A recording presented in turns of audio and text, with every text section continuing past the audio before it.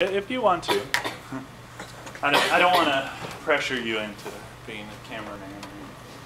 I appreciate it. Um, anyway, so uh, let's try this second one. I think we did the first one in the class today. It says, how many moles of ice at zero degrees Celsius, so zero degrees Celsius, that's the freezing point of ice, or the melting point, right? So that's where you're going to bring in delta H fusion, right? So how many moles of ice at zero degrees Celsius could be melted with the addition of 750 kilojoules of energy? And it says that the delta H of fusion is 6.01 kilojoules per mole. So it's asking for moles, and it gives you some information. So it says the amount of heat that they're pumping into this is 750 kilojoules energy. And they give you delta H fusion is 6.01 kilojoules per mole.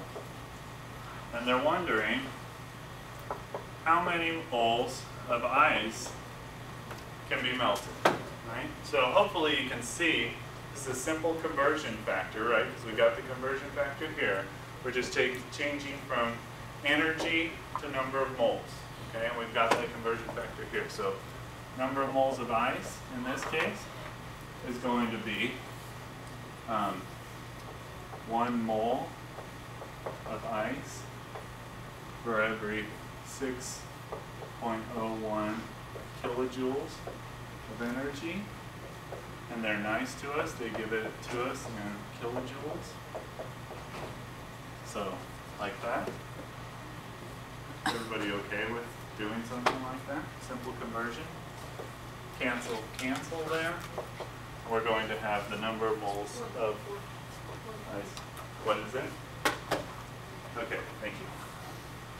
Okay, so three sig figs here, right?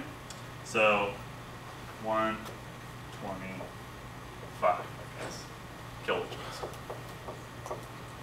Okay, so that's how much, oops, no, kilojoules, sorry, 125 moles of ice.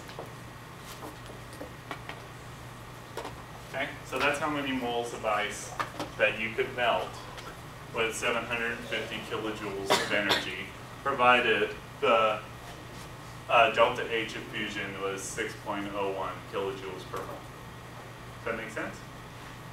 Any questions on that one? If you want to kill that one.